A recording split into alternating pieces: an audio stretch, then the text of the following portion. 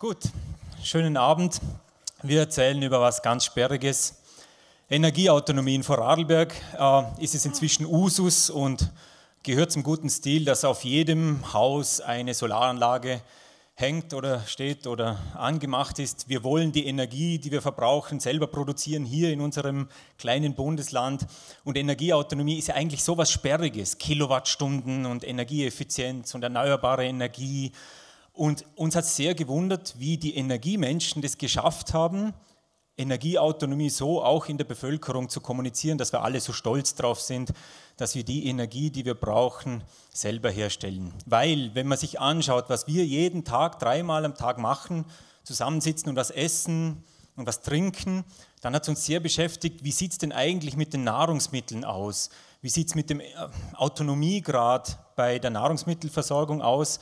Und darum reden wir heute nur über Boden und äh, Sonne und Wasser. Und wenn man sich mit der Frage beschäftigt, äh, also was kann man bei uns produzieren oder was wird bei uns an Lebensmitteln produziert, landet man unweigerlich schnell bei der Milch.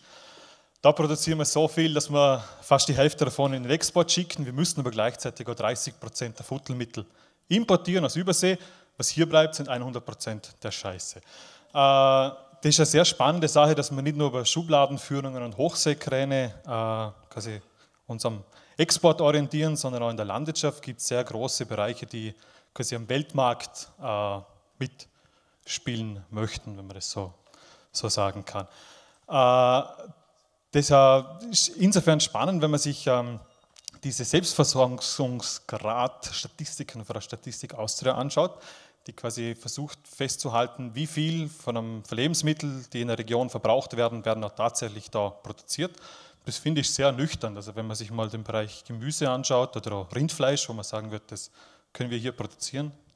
Gemüse wie zum Beispiel dieser Kohlrabi am Bregenzer Wochenmarkt gekauft, ein regionales Produkt par excellence, würde man denken. Zu 85 Prozent Wahrscheinlichkeit kommt das Samenkorn von diesem Kohlrabi aus China wurde dann in Holland in einem russischen Torfmoorballen abgesetzt, um einen Setzling wachsen zu lassen, dann in den Bodenseeraum äh, gebracht mit dem LKW, von osteuropäischen Akkordarbeitern in die Erde gesetzt, gedüngt mit Dünger, Düngemitteln, die zu 60 Prozent aus der Karibik, zu 30 Prozent aus Russland kommen und dann am Bregenzer Wochenmarkt als regionaler Kohlrabi verkauft, ein regionales Produkt, das in der genetischen Information drei Firmen gehört. Spannend, wenn man sich mit dem Bereich Boden auseinandersetzt, ist in unserem Land auch, dass wir den Boden in zwei Ebenen verlieren. Und zwar verlieren wir oben, oberhalb der Siedlungsgrenzen. Also unser Land wächst zu, weil der Wald zunimmt und äh, ehemalige Weideflächen und damit produktive Flächen quasi im Wald aufkommen.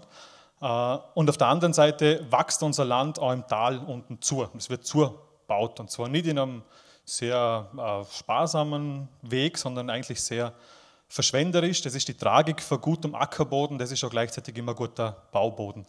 Ähm, der beste Ackerboden in Österreich finden Sie unter der Start- und Landebahn vom Flughafen Wien-Schwächert. Äh, spannend ist in dem Zusammenhang auch, dass diese Reste von der Kulturlandschaft, von der bäuerlichen, die wir mal gehabt haben in unserem Land, jetzt herhalten müssen als ausgehöhlte Marketing-Tools, um super Soft Sandwich-Brot anzubieten, das mit der Mais-Eis, das höchstwahrscheinlich als Ferienwohnung genutzt wird, eigentlich wenig gemeinsam hat. So, quantitativ in Vorarlberg, um was geht es jetzt? Das Zuwachsen unserer Bauflächen oder unserer Landwirtschaftsflächen durch das fortschreitende, Bebauen. Jeden einzelnen Tag in Vorarlberg werden 1500 Quadratmeter neue Freifläche, Landwirtschaftsfläche in Bauland umgewidmet, gehen also der landwirtschaftlichen Produktion verloren. Und das heißt, dass unsere landwirtschaftlichen Produktionsflächen inzwischen so aussehen, wie hier in Lustenau, wo der Traktor kaum mehr umkehren kann auf, diesem, auf dieser Wiese und die Nachbarn sich, wenn, dann über Pschütter und Kuhglocken vielleicht noch beschweren. Der Mensch macht es aber nicht nur im Umgang mit Grund und Boden, sondern der Mensch überformt diese Erde massiv. Wenn man sich vorstellt, also wenn, man, wenn man alle landlebenden Wirbeltiere, alles, was so kreucht und fleucht auf der Erde, auf einen Haufen schmeißt, sind nur noch drei Prozent der Masse dieser Wirbeltiere Wildtiere. 65 Prozent sind schon Nutztiere, paar 32 Prozent sind ungefähr Menschen. Das heißt, wir haben diese ganze Erde massiv beeinflusst. Wenn wir uns aber jetzt diese Fläche, die in Vorarlberg als Bauland gewidmet ist und nicht bebaut ist, das ist eine ziemlich ordentliche Fläche, das sind über 4000 Hektar, also fast 40 Prozent vom Bauland. hernehmen würde und äh, bebauen würde mit Dinkel, könnte man für jeden Vorarlberger und jede Vorarlbergerin 38 Kilogramm Dinkel auf dieser Fläche anbauen.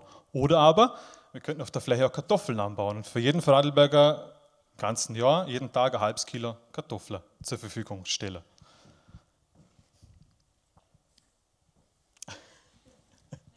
Schauen wir Tolle mal. Übergang. Zur Kartoffel gäbe es noch viel mehr zu sagen. Genau. Äh, spannend ist da, wenn man sich das auf einem globalen Level anschaut, äh, Durchschnitt, oder im Schnitt steht jedem Erdenbürger eine Fläche von 2000 Quadratmeter zur Verfügung, um seine Lebensmittel, seine Kleidung, was auch immer er braucht, anzubauen. Äh, die Fläche, die wir als Baulandüberhang haben, also Bauland, das nicht bebaut ist, wird ausreichen, um für 20.000 Menschen quasi ihre Bedürfnisse zum Decken.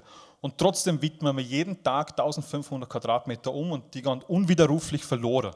Also wenn eine Fläche bebaut ist, versiegelt, die kann ich nicht mehr so einfach rekultivieren. Das stellen sich viele Leute sehr einfach vor, ist es aber nicht. Und nur als Größenordnung, wir haben seit den 50er Jahren die Fläche für Indien an fruchtbarem Ackerland verloren. So, also was tun? Wollen wir die landwirtschaftliche Produktion jetzt den Profis wie dem Simon beim Vetterhof überlassen?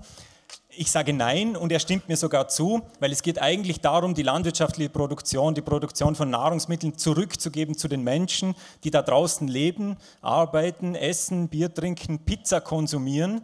Und ich glaube, ähnlich Usus wie eine Solaranlage auf dem Dach und Energieautonomie es geschafft hat, diesen Bogen zu ziehen, müsste es sein, dass wir die Hälfte unserer Nahrungsmittel hier auf unserem eigenen Boden wieder selber äh, wachsen lassen, herstellen und den Rest kauft man dann bei Betrieben wie zum Beispiel dem Vetterhof.